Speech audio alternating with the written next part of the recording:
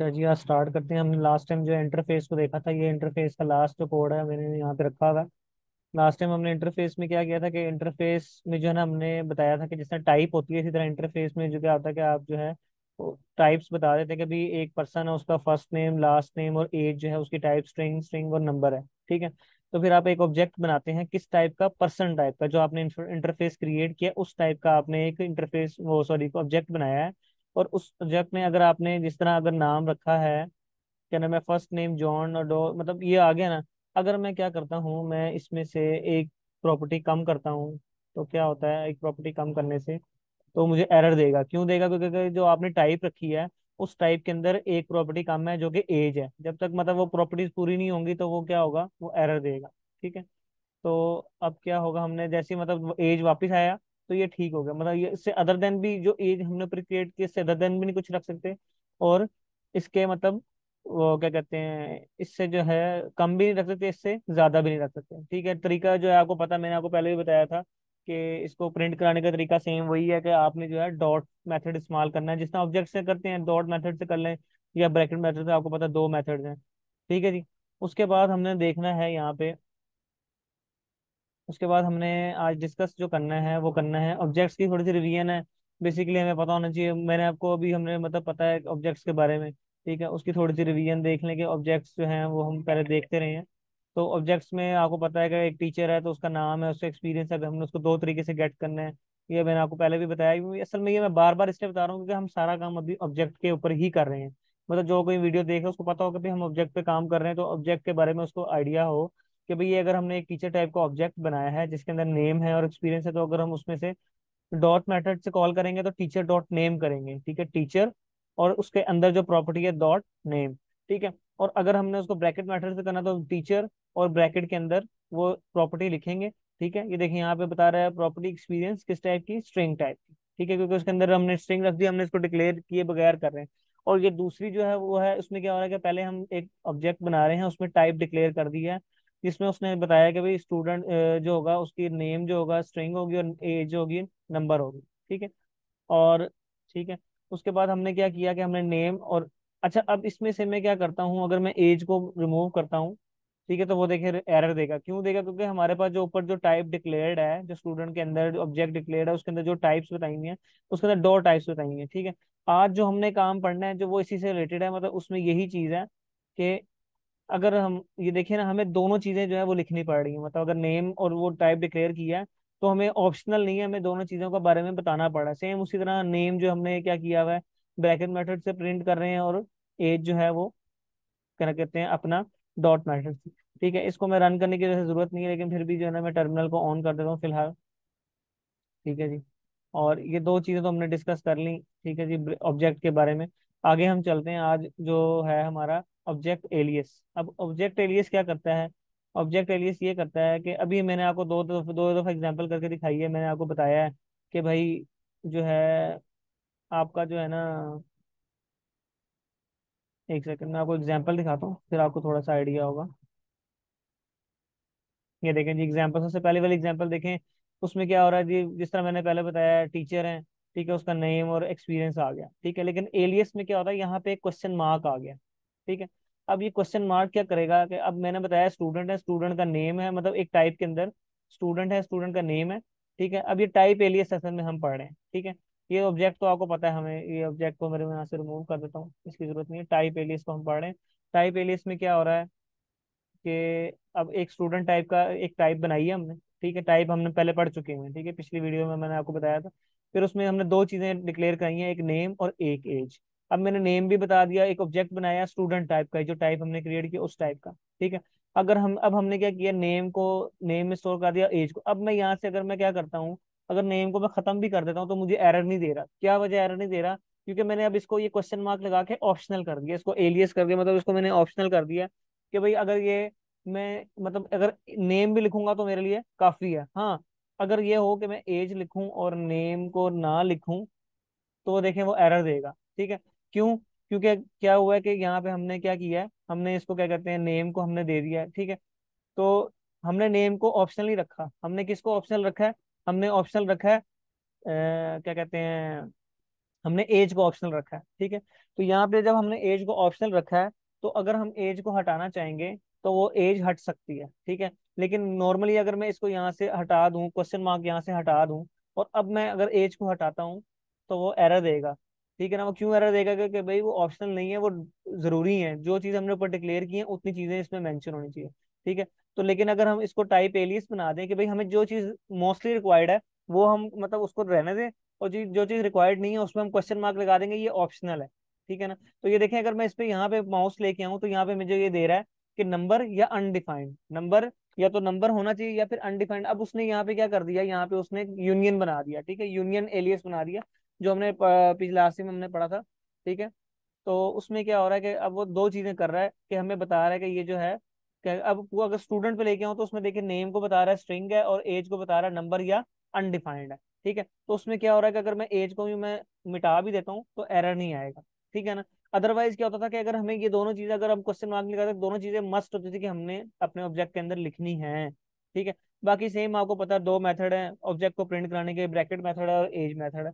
अच्छा इसी तरह अगर मैं ये मैंने आपको बताया टाइप से, अगर मैं इसी तरह इंटरफेस से करूँ, ठीक है इंटरफेस में क्या करूँ कि मैं नाइप नेम करूँ और सब ऑर्डिनेट करूँ, ठीक है सब ऑर्डिनेट में नंबर और स्ट्रिंग अब अगर मैं नेम कर नेम लिख रहा हूँ तो ठीक है, अगर मैं सब ऑर्डिनेट नहीं लिख रहा तो एरर नहीं दे रहा, लेकिन अगर ये मैं क्वेश्चन मार्क यहाँ से हटा दूँ तो ये देखिए अभी स्टोर मैनेजर एरर देगा और क्या कह रहा है कि प्रॉपर्टी सब ऑर्डिनेट इज़ मिसिंग ठीक है, क्योंकि अब वो रिक्वायर्ड होगी कि लिखना है, लेकिन अगर इसके साथ क्वेश्चन मार्क है तो वो ये एरर नहीं देगा और वो मतलब कहेगा property is declare but its value is never read ठीक है? कि स्टोर मैनेजर की प्रॉपर्टी जो है, वो डिक्लेयर है नेवर रीड है। क्यों लेकिन जो इसके अंदर जो है सब ऑर्डिनेट जो है, वो ऑप्शनल हो गया ठीक है? अगर मैं सब ऑर्डिनेट पे लेके जाऊँ तो ये देखिए, आपको क्या कह रहा है? नंबर या अनडिफाइंड या तो नंबर होना चाहिए, या डिफाइन ना करो उसको आप। ठीक है ना? कोई इशू नहीं होगा। तो ये हमारा बेसिक कॉन्सेप्ट है ऑब्जेक्ट एलियस का। ठीक है जी? ये हमारा एलियस का ऑब्जेक्ट है कि हम उसमें क्वेश्चन मार्क लगा देंगे। हमारे पास फिर क्या होगा? जो भी टाइप या इंटरफेस होगा उसकी जो प्रॉपर्टीज़ जिनके साथ क्वेश्चन मार्क होगा, वो सारी क्या होंगी? ऑप्शनल होंगी। ठीक है जी?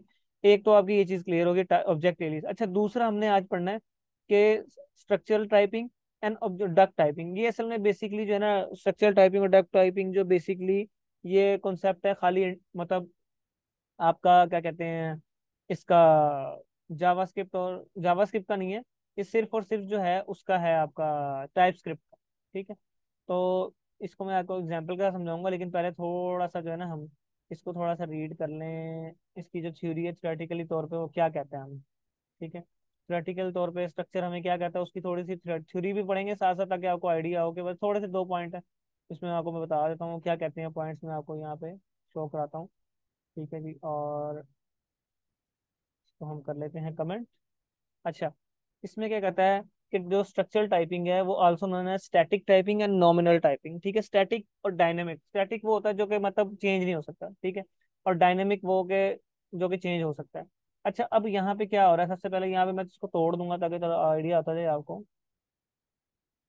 अच्छा जी, उसमें also based on the structure और शेप ऑफ़ द ऑब्जेक्ट असल में जो स्ट्रक्चर टाइपिंग है, वो बेसिकली उसके स्ट्रक्चर पे फोकस करती है, कि उसका स्ट्रक्चर जो है और जो शेप है वो प्रॉपरली है मतलब उसमें अब हम एग्ज़ाम्पल देखेंगे ना फिर आपको आइडिया होगा कि, क्या है ठीक है? दूसरा two types are considered compatible if their structure are equivalent कह दो टाइप्स मिला के जो है ना अगर आप करेंगे तो वो स्ट्रक्चर बन सकता है ठीक है? लेकिन अगर दो इंटरफेरेंस मिलाएँगे तो वो नहीं बन सकता।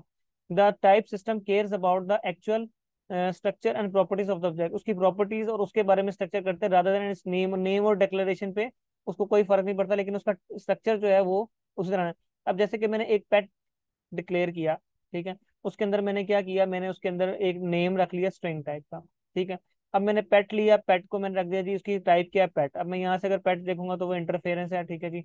अब मैं क्या कहता हूँ? डॉग अब मैं डॉग लिया डॉग के अंदर एक ऑब्जेक्ट मैंने स्टोर कराया, ठीक है? अच्छा अब यहाँ पे ये क्या कह रहा है? डॉग कैरर क्या दे रहा है? ये can not redeclare block scope अच्छा यहाँ मैंने नीचे तो नहीं डिक्लेयर किया? एक सेकेंड इसका नाम चेंज कर लेता हूँ वन वन। ठीक है। अच्छा जी, वो ऑलरेडी कहीं डिक्लेयर्ड होगा तो इसलिए एरर दे रहा है। तो मैं देख लेता हूँ। अच्छा उसके बाद कहता है कि आपका तो ये पेट है इंटरफेस टाइप का हमने बनाया। उसके अंदर हमने एक पेट टाइप का हमने वेरिएबल लिया, उसको हमने टाइप के दे दी पेट जो इंटरफेस की बनाई। ठीक है। अब कहता है dog's inferred type is name string and और अब डॉग के अंदर हमने क्या रख दिया? डॉग वन का एक वेरिएबल लिया, उसके अंदर हमने एक ऑब्जेक्ट बनाया। और उस ऑब्जेक्ट के अंदर नेम रख दिया और ऑनर रख दिया। नेम रख दिया और ऑनर अब मैं कहता हूँ, जो हमने पेट की पेट टाइप बनाई थी तो हमने क्या रख दी कि उसके अंदर रख दी हमने डॉग ठीक है, अब क्या हो रहा है कि जो पेट के अंदर क्या है नेम और डॉग के अंदर भी नेम है। पेट के अंदर भी क्या, इसके अंदर भी क्या है नेम और इसके अंदर भी नेम है। तो हमने अगर दोनों को इक्वल किया तो हम पेट डॉट नेम कर सकते हैं। अब जब मैं पेट डॉट नेम करूँगा कंसोल डॉट लॉग में, इस सारे को नीचे को ना मैं वो करता हूँ, फिर आपको आइडिया होगा। इस सारे को मैं कमेंट करता हूँ। इसको हम रन करके देखते हैं। रन किए बगैर जो है ना आपको समझ नहीं आनी। ठीक है जी। इसमें क्या हो रहा है कि अब हमारे पास ऑब्जेक्ट में, इसको भी जरा ऑब्जेक्ट की शक्ल दे देते हैं ताकि थोड़ा सा आपको आइडिया रहे। ठीक है, ये हमारा ऑब्जेक्ट है। ठीक है, अब ये हमारा ऑब्जेक्ट है। इसमें डॉग वन के नाम से हमने ऑब्जेक्ट किया, उसमें उसका नाम है और ऑनर है। ठीक है, अब मैंने कह दी थी पेट जो है, वो बराबर है डॉग वन के। ठीक है जी। अब पेट के अंदर क्या है? बेसिकली पेट के अंदर पेट और नेम है और इसके अंदर भी नेम है। अब एक एक प्रॉपर्टी दोनों की क्या करती है? मैच करती है। तो हमने क्या किया? Console dot pet dot name करेंगे तो हमारे पास क्या आना चाहिए बेसिकली अब पेट के अंदर तो खाली स्ट्रिंग है, लेकिन डॉग के अंदर क्या है? बेसिकली क्या है? नाम है उसका, ठीक है? और अगर हम इसको रन करते हैं टीएससी करते हैं टीएससी एंड नोड ऐप ठीक है जी? अब देखते हैं हमारे पास इसका आंसर देखें तो आप हैरान होंगे कि जो इसमें नेम है डॉग वन के अंदर वो नेम उसके क्या कहते हैं हमारे पास रेफर्ड करेगा ठीक है? वो अब डॉग के ज़रिए जो है वो रेफर कर रहा है एक सेकंड हाँ थोड़ा सा इशू है मैंने क्या किया है? हाँ। मैंने डिस्ट का फोल्डर नहीं कन्वर्ट किया है हाँ, वो क्रिएट की है नेम की और यहाँ पे हमने अगर पेट के मतलब पेट के पेट के इक्वल रख लिया उसके बाद हमने बताया कि जी एक डॉग है और पेट को इक्वल कर दिया डॉग के तो अब जो पेट की प्रॉपर्टी है नेम वो किसकी प्रॉपर्टी होगी? डॉग की। ठीक है ना? ये सॉरी डॉग की जो नेम की प्रॉपर्टी है, वो किसकी होगी? है पेट की होगी। तो अब जब मैंने इसको प्रिंट कराया है पेट डॉट नेम अब मैंने पेट डॉट नेम कराया पेट के पेट डॉट नेम जो ये पेट है, इसको, इसकी प्रॉपर्टी नेम से कॉल की है तो देखें वो उसका नाम दे रहा है, इस डॉग का नाम दे रहा है। क्यों? क्योंकि अब ये पेट इक्वल हो गया डॉग के। अब लेकिन अगर इसमें क्या है? ऑनर नहीं है। अगर मैं इसको नाम चेंज कर देता हूँ, इसकी जगह अगर नेम वन कर देता हूँ तो ये इक्वल टू में जो है वो एरर नहीं दे रहा, क्योंकि वो प्रॉपर्टी देख रहा है। ठीक है? वो नेम को नेम से उसको ताल्लुक नहीं है, उसको स्ट्रक्चर से ताल्लुक है कि जो टाइप है वो, जो इसमें टाइप है वो इसी में सेम टाइप है। मतलब अगर इसमें स्ट्रिंग है नेम तो इसमें भी नेम क्या है? स्ट्रिंग है, ठीक है?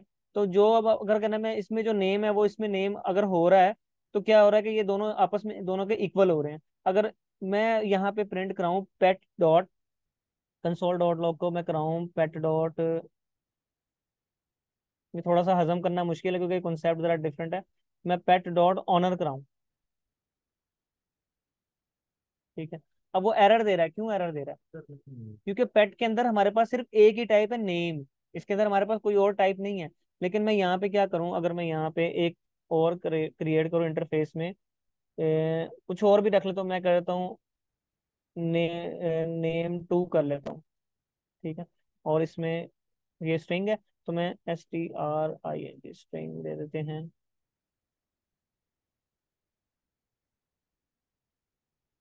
ठीक है। इसमें ऐसे होता है।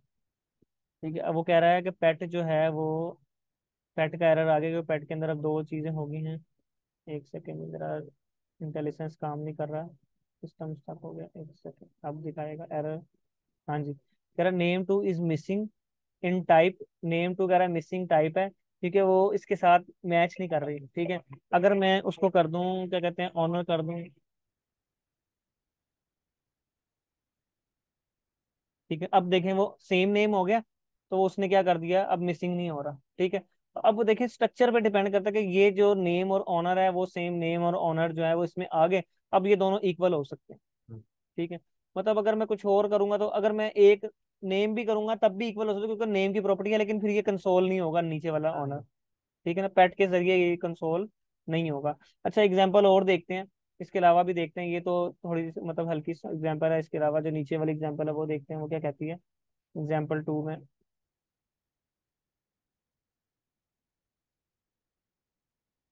एग्ज़ाम्पल टू देखें जी। एग्ज़ाम्पल टू में क्या है? एग्ज़ाम्पल टू में क्या हुआ है? एक फ़ंक्शन हमने क्रिएट किया है लॉग नेम का। ठीक है? उसके अंदर एक समथिंग टाइप का हमने क्या कर दिया, एक ऑब्जेक्ट पास कर दिया as a parameter object pass कर दिया एज अ पैरामीटर अब उस समथिंग के ऑब्जेक्ट के अंदर जो है ना, एक नेम की प्रॉपर्टी है। ऑब्जेक्ट के अंदर। देखिए एज अ पैरामीटर हमने क्या पास किया? यहाँ पे ये थोड़ा डिफरेंट है, ये हमने आज तक कभी नहीं किया। एज अ पैरामीटर हमने पास किया ऑब्जेक्ट पहले हम पास करते थे एज अ पैरामीटर कोई वेरिएबल पास करते थे। यहाँ पे हमने पास किया एक ऑब्जेक्ट ठीक है, उस ऑब्जेक्ट के अंदर क्या है? नेम ठीक है? फ़ंक्शन है, उसके अंदर, उसके पैरामीटर में ऑब्जेक्ट है ऑब्जेक्ट के अंदर क्या है? नेम और वो है स्ट्रिंग टाइप का। अब कंसोल डॉट क्या हो रहा है? समथिंग डॉट नेम ज़ाहिर सी बात है, ये ऑब्जेक्ट के अंदर से क्या प्रिंट होना है, उसने console dot object dot name dot method से वो जो पैरामीटर है, वो प्रिंट हो रहा है। अब क्या हो रहा है कि हमने एक वेरिएबल क्रिएट किया है, ठीक है पर्सन ठीक है, और उसके अंदर हमने दो चीज़ें दी है नेम और जॉब अब नेम तो उसके अंदर आ रहा है ना, ठीक है, तीसरा दिया है, उसके अंदर भी नेम आ रहा है और डाइट आ रही है। चौथा दिया उसके अंदर नेम नहीं आ रहा। अब देखिए इसके अंदर नेम नहीं आ रहा तो ये प्रॉपर्टी ऊपर वाले फ़ंक्शन से मैच नहीं कर रही। तो देखिए अगर मैंने इसमें इस फ़ंक्शन में एज अ पैरामीटर पर्सन दिया तो उसके अंदर एक वे, उसका मतलब वेरिएबल जो था वो नेम से मिलता था तो ओके है। तो उसके बाद अगर लॉग नेम इसका एनिमल के अंदर नेम था तो ठीक है जी वो ओके है। लेकिन रैंडम के अंदर नोट था तो नोट जो नेम से मैच ही नहीं करती प्रॉपर्टी तो वो क्या आ गया? एरर आ गया। तो ये टाइप है स्ट्रक्चर का मतलब स्ट्रक्चर सेम है दोनों का दोनों का मतलब वेरिएबल जो उसके अंदर जो क्या कहते हैं ऑब्जेक्ट की प्रॉपर्टी है दोनों उसकी सेम है जहाँ तक तब तक ठीक था। जैसे ही वो हुआ तो साथ ही उसने क्या दे दिया? एरर दे दिया। ये थी हमारी दूसरी एग्ज़ाम्पल ठीक है जी, इसी तरह की तीसरी एग्ज़ाम्पल देखते हैं तो आपको थोड़ा सा बेटर और क्लियर हो जाएगा। थर्ड एग्ज़ाम्पल में क्या हो रहा है? इसी तरह हमने क्या इंटरफेस क्रिएट किया हुआ ठीक है जी? और ये थोड़ा सा मज़े का होगा, क्योंकि ये जरा हमने इसको ज़्यादा वो किया हुआ इसमें क्या हो रहा है कि हमने एक इंटरफेस टाइप का डॉग क्रिएट किया है, ठीक है? उसके अंदर नेम रख दिया। उसके अंदर क्या रख दिया? नेम फिर दूसरा हमने क्या कर दिया? इंटरफेस टाइप की कैट क्रिएट की, उसके अंदर भी नेम अब ये दोनों के अंदर क्या है? नेम है। ठीक है? उसके बाद क्या कर रहे हैं हम कि इंटरफेस पर्सन बना रहे हैं। उसके अंदर एक फ़र्स्ट नेम और सेकंड नेम है। ठीक है? अब इस दूसरे, इसके बाद क्या कर रहे हैं हम? जो एक डॉग का वेरिएबल लिया, उसकी टाइप रखी डॉग कैट का वेरिएबल लिया, उसके नाम, क्या रखी, उसकी टाइप रखी कैट और दोनों के अंदर वेरिएबल इनिशियलाइज करा दिए। कि डॉग का नाम मार्स और कैट का नाम वीनस रख दिया। ठीक है? अब हम कहते हैं कि डॉग बराबर है कैट के। हाँ जी, बराबर है, क्योंकि दोनों के अंदर नेम की प्रॉपर्टी मौजूद है। और कैट बराबर है डॉग के हाँ जी बराबर है दोनों के अंदर मौजूद है ठीक है ये दोनों आपस में बराबर हो सकते हैं लेकिन अगर हम क्या नाम है पर्सन को पर, एक पर्सन टाइप का वेरिएबल लें उसके अंदर पर्सन की वैल्यूज़ डाल दें ठीक है उसको इनिशियलाइज करा लें क्या डॉग बराबर हो सकता है पर्सन के? नहीं हो सकता क्योंकि उसके अंदर नेम है और उसके अंदर फ़र्स्ट नेम और लास्ट नेम है और दूसरा अगर कहना मैं कैट बराबर हो सकती है कैट भी नहीं हो सकती क्योंकि उसके अंदर भी क्या है नेम है और ये दोनों बराबर नहीं हो सकती ठीक है? किसी ने क्वेश्चन करना है तो क्वेश्चन कर लें इस बारे में क्योंकि मैंने ये अब आगे इसके बाद आगे शुरू करूँगा। ये हमारा था स्ट्रक्चर का ठीक है? तो आगे हम पढ़ेंगे डक टाइपिंग एनी क्वेश्चन मैं तो मिडिल से अभी तक समझ नहीं आई मैं डक टाइपिंग से शुरू करता हूँ। चलो ठीक है मैं दोबारा इसको मैं दोबारा समझाया तो इसी एग्जांपल से मैंने ये बताया स्ट्रक्चर टाइपिंग में क्या होता है। स्ट्रक्चर टाइपिंग मैंने ऊपर लिखा है स्ट्रक्चर टाइपिंग जो स्टैटिक टाइपिंग होती है ठीक है? फिक्स होती है ठीक है? मतलब उसमें चेंजिंग नहीं हो सकती, जो चीज़ है वो वही है मतलब ठीक है? और उसमें क्या होता है बेस्ड ऑन स्ट्रक्चर और शेप ऑब्जेक्ट क्लास के होती है, जो इसमें बेसिकली क्या चलता है कि हमारा स्ट्रक्चर चलता है शेप चलता है मतलब जो शेप और स्ट्रक्चर जो सेम होगा ना ऑब्जेक्ट की प्रॉपर्टी सेम होंगी तो ठीक होगा। अगर सेम नहीं होंगी तो मतलब ये एरर दे देगा। Two types are considered compatible structure are equal अगर उनका स्ट्रक्चर इक्वल होगा मतलब उसकी प्रॉपर्टीज़ इक्वल होंगी या उसकी प्रॉपर्टीज़ सेम होंगी तो वो क्या होगा? उसके अंदर जो है क्या कहते हैं आपका जो है वो इक्वलेंट होगा अदरवाइज़ नहीं होगा। तो अगर मैंने एक इंटरफेस टाइप का डॉग बनाया और इंटरफेस टाइप की कैट बनाई है दोनों के अंदर स्ट्रिंग रखी है नेम की मतलब देखें इसके अंदर भी नेम है इसके अंदर भी नेम है ठीक है? अगर मैं दोनों को आपस में इक्वल करूँ क्या इक्वल हो सकते हैं? हेलो हाँ जी हाँ जी हो सकते हैं सेम हो सकते हैं ना है ना क्योंकि सेम है ना ये दोनों हाँ मतलब दोनों की टाइप सेम है लेकिन अगर मैंने पर्सन क्रिएट किया है और पर्सन के अंदर फ़र्स्ट नेम और लास्ट नेम रखा है अब इसके अंदर नेम कोई नहीं है ठीक है? तो देखो अगर मैं पर्सन के इक्वल डॉग रख रहा हूँ और पर्सन के इक्वल कैट रखूँ तो बराबर नहीं हो सकता क्योंकि उसके उसके अंदर प्रॉपर्टी नहीं है नेम की। ठीक है? तो वो हम्म। किसको देख रहा है? उसके स्ट्रक्चर को देख रहा है कि उसके स्ट्रक्चर के अंदर वो प्रॉपर्टी मौजूद नहीं है। नहीं है। तो ये क्या है? ये स्ट्रक्चरल टाइपिंग है। लेकिन दोनों में से कोई एक भी चीज़ होगी अगर इसके अंदर मैं फ़र्स्ट नेम रख देता हूँ अगर कैट के अंदर इसने इसके अंदर अगर मैं यहाँ पे देखो इंटरफेस के अंदर यहाँ पे मैं फ़र्स्ट नेम रख देता हूँ।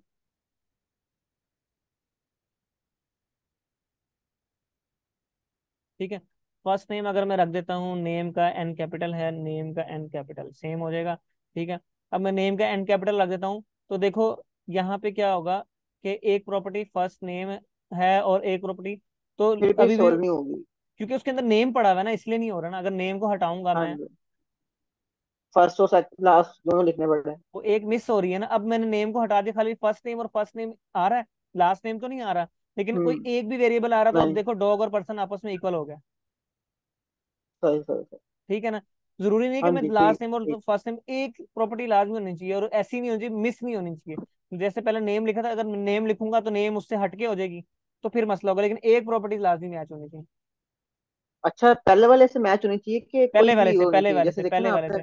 अगर मैं पर्सन डॉट करूँगा person is equal to dog करूँगा तो ये एरर हम्म। देगा। क्योंकि इसके अंदर दो प्रॉपर्टीज़ हैं और हम्म। इसके अंदर एक है। हाँ अब एरर दे रहा है। लेकिन dog is equal to person हो रहा है लेकिन person is equal to dog नहीं हो रहा। तो पहले वाले की प्रॉपर्टी दूसरे वाले से मैच होनी चाहिए। दूसरे वाले की पहले से नहीं। ठीक हो। ठीक है जो पहले वाले की प्रॉपर्टी है वो दूसरे वाले के अंदर एक ना एक मौजूद होनी चाहिए। लेकिन दूसरे वाले की जो है वो अगर आप उल्ट करोगे तो वो एरर दे देगा। क्योंकि अब इसके अंदर पर्सन के अंदर दो है और उसके अंदर एक है। ठीक है जी ये अब स्ट्रक्चर टाइपिंग कंप्लीट हो गया। हम आगे चलते हैं। डक टाइपिंग की तरफ़। टाइम कम है हमारे पास। ठीक है जी, और इसको हम सारे को उड़ा देते हैं यहाँ से। डक टाइपिंग का देखते हैं थोड़ा सा डक टाइपिंग क्या कहती है? डक टाइपिंग ठीक है जी डक टाइपिंग का हम थोड़ा सा सारा कोड उठा लेते हैं। मैं जो फ़ाइल है ना, मैं शेयर कर दूँगा ग्रुप के अंदर। आप लोग जो है उसको पढ़ लीजिएगा, जरा थ्योरी जो है ना, मैं थ्योरी अब ज़्यादा नहीं कर रहा क्योंकि टाइम कम है। थ्योरी इस लिखी हुई है मैंने। सेम वही चीज़ है, मैंने पहले बताया डक टाइपिंग क्या होती है? वो स्ट्रक्चर टाइपिंग जो है, वो स्टैटिक होती है। तो डक टाइपिंग उसके मुकाबले में क्या होती है? डक टाइपिंग उसके मुकाबले में डायनेमिक होती है मतलब चेंज हो सकती है टाइम टू टाइम चेंज हो सकती है, क्योंकि डायनेमिक है वो, ठीक है? Based on whether object can perform इसमें स्ट्रक्चर पे कोई उसको फ़र्क नहीं पड़ता स्ट्रक्चर सेम है कि नहीं है?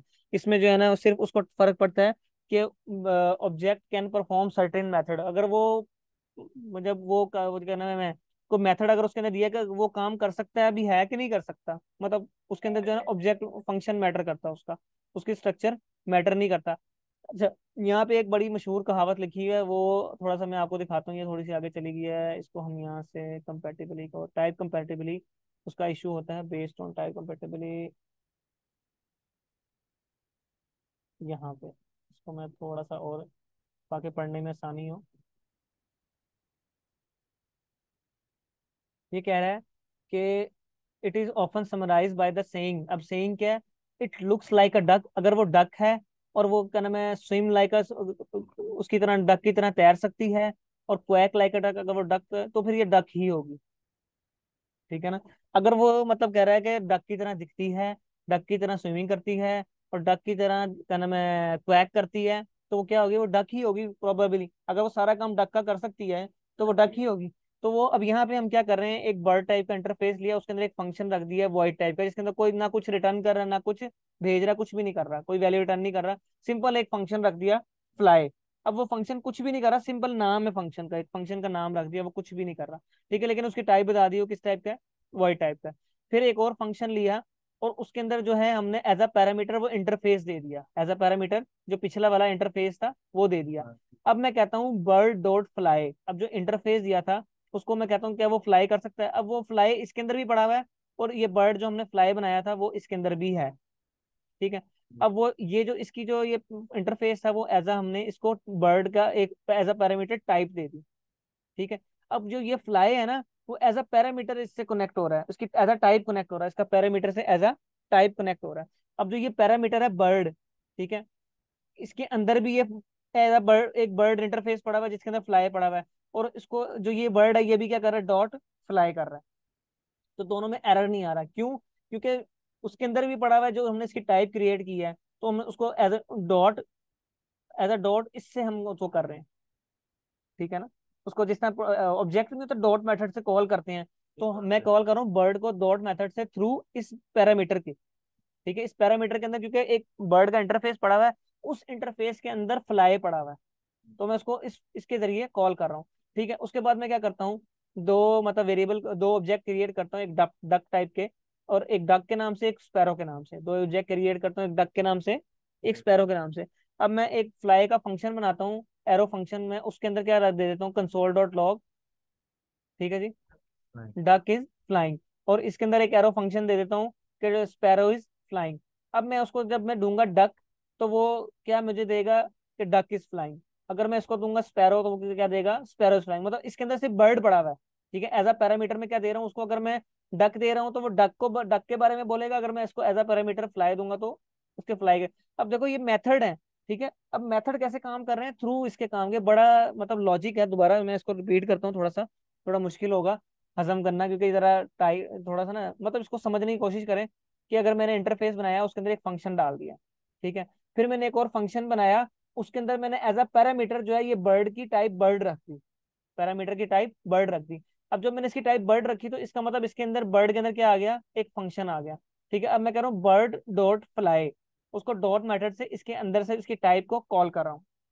ठीक है, अब मैं दो, जब दो मैंने ऑब्जेक्ट क्रिएट किए हैं और दोनों ऑब्जेक्ट के अंदर दो फ़ंक्शन है, अब वो दोनों फ़ंक्शन जो है थ्रू फ़ंक्शन चल रहे हैं। जब मैं उसके अंदर डक देता हूँ तो वो डक की फ़ंक्शन कॉल कराता है। जब मैं उसको स्पैरो देता हूँ, वो स्पैरो का फ़ंक्शन कॉल कराता है। वो किस तरह करा रहा है? क्योंकि वो ये फ़ंक्शन हमने यहाँ पे ऑलरेडी इसके अंदर दिया हुआ है। ठीक है? तो उसके बारे में किसी ने क्वेश्चन करना है तो बता दें भाई। जल्दी जल्दी हम कवर करेंगे नेस्टेड ऑब्जेक्ट है इसके बाद। इसका फ़ायदा ये हुआ है क्या हुआ है? आपकी आवाज़ नहीं ठीक आ रही। मैं कंटिन्यू करें आगे। ओके कंटिन्यू करते हैं आगे। ठीक है जी आगे कंटिन्यू करते हैं। आगे हम देखते हैं हमारे पास है अब हमारे पास नेस्टेड ऑब्जेक्ट ठीक है ये हमने क्लास में भी देखे थे थोड़ा सा बस इसका वो देखेंगे। ओवरव्यू देखेंगे क्या चीज़ है नेस्टेड ऑब्जेक्ट नेस्टेड ऑब्जेक्ट देखें जी एक हमारे पास ऑथर है ठीक है टाइप बनाई है हमने ऑथर की ठीक है।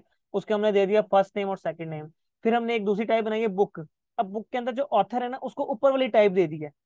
ऑथर को क्या टाइप दे दिया ऊपर वाली जो हमने टाइप क्रिएट की थी ठीक है। उसके अंदर जो है ना वो मतलब दे दिया ठीक है। और उसके अंदर क्या दे दिया उसके साथ एक नेम भी ले लिया ठीक है। कि बुक के अंदर ऑथर का नेम और फ़र्स्ट नेम आ गया। और साथ क्या आ गया उसका? बुक का नेम भी आ गया। तो हम अगर मैं एक ऑब्जेक्ट बनाता हूँ बुक टाइप का, ठीक है? उसके अंदर उसकी टाइप भी बुक रखता हूँ, ठीक है?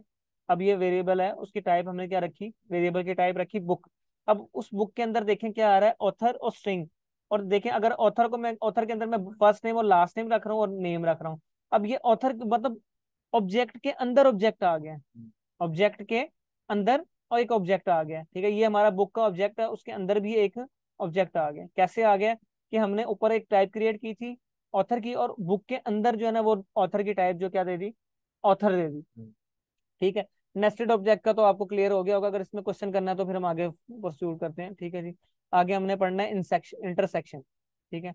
जैसे हमने पहले वो और पढ़ा था ना तो इसी तरह इंटरसेक्शन है। इंटरसेक्शन में क्या होता है कि हमें पता होता है अच्छा वैसे हम इंटरसेक्शन पढ़ते हैं कि कोई मतलब ना दोनों में से कोई मतलब दोनों चीज़ें जब सेम होंगी तो लेकिन यहाँ पे फ़र्क है, यहाँ पे फ़र्क ये है कि दोनों चीज़ें मौजूद होना ज़रूरी है। यूनियन में होता है ना, दोनों में से कोई एक अगर मैं यहाँ पे देखे ना, अगर और लगाता तो वो यूनियन बन जाता ना, हमने जिसने यूनियन लेटरल पढ़े थे, कि हम कोई और लगाते या तो वो उसकी टाइप क्या हो, क्या नाम है क्या नाम है नंबर हो, या उसकी टाइप क्या हो, क्या कहते हैं क्या कहते हैं स्ट्रिंग हो, ठीक है? तो लेकिन यहाँ पे एंड क्या हो रहा है कि वो स्टूडेंट भी हो और टीचर दोनों हो। अगर हमने स्टूडेंट क्रिएट किया स्टूडेंट आईडी नेम और टीचर की किया है टीचर आईडी और नेम तो मैं इंटरसेक्टेड टाइप कर रहा हूँ इंटरसेक्टेड टाइप क्या हो, दोनों हो टीचर भी हो और उसमें इंटरसेक्टेड टाइप के अंदर स्टूडेंट भी हो। अगर मैंने एक ऑब्जेक्ट का मतलब इंटरसेक्टेड टाइप का एक ऑब्जेक्ट क्रिएट किया है तो उसके अंदर मैं स्टूडेंट अगर मैं उसमें से कोई एक प्रॉपर्टी मिस करता हूँ